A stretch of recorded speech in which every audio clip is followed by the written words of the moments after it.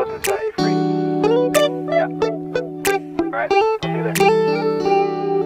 midnight, we're going all night. Can you pass a drink to get the vibe right? Don't feel like having a Bud Light. A tequila with some salt and lime.